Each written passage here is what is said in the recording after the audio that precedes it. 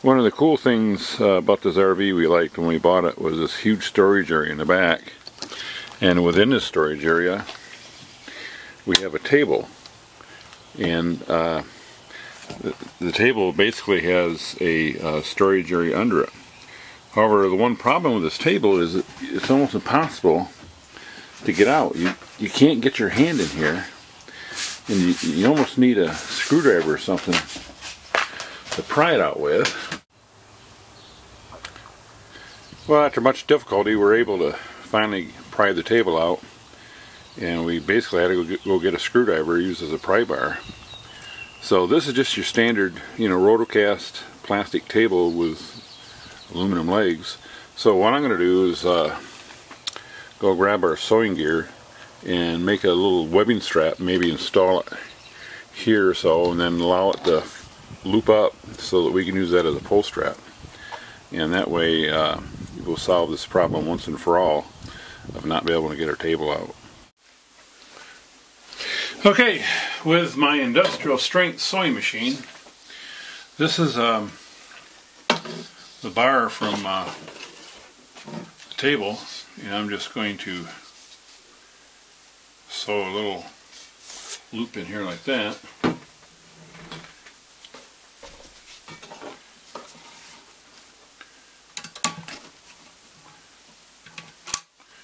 Sure is nice to have something. We used to have this when we did canvas on our boat. And uh, Okay, so now we're going to take this uh,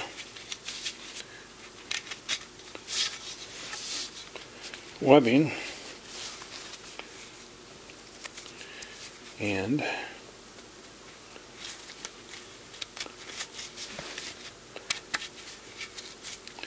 there we go. Put it in like that.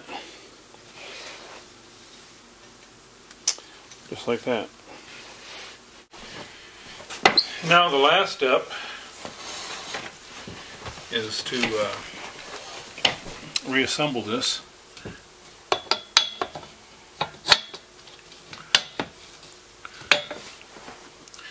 And then move this webbing down to somewhere nice.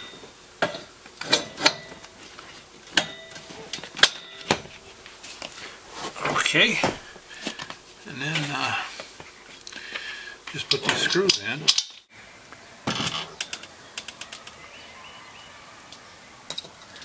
So we're going to put her in the RV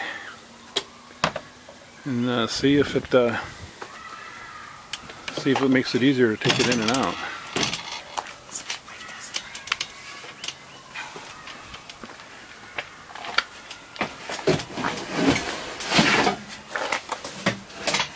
It is a little bit of a trick to get it in there though. The table's in and now we got a strap that we can easily just take it and grab it and pull it out. So uh, what became, or what was once a pain, now became an asset.